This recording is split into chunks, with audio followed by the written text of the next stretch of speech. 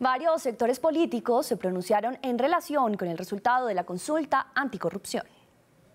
Ponernos de acuerdo en cómo unir estas diferentes propuestas, cómo se acumulan y cuál es la redacción que se adecúa al ordenamiento jurídico. Es oportuna la iniciativa que se ha presentado de reforma política que acaba con esa lista abierta a la compra y venta de votos, cuyo eje central es la lista cerrada. Repetimos, apoyo aprobación acelerada de, primero, proyectos del presidente Duque, segundo, congelación salario Congreso, tercero, acabar mermelada. Todo proyecto regional obliga a conocer el nombre del promotor tal cual lo propusimos en 2014. Cuarto, consultas partidistas, periodos limitados de elección. Lo que queremos es una hoja de ruta para tramitar rápidamente estos proyectos desde el Partido Liberal, articularemos mesas de trabajo para hacer realidad estas iniciativas y poderlas incorporar en la agenda nacional y en la agenda del Congreso de la República.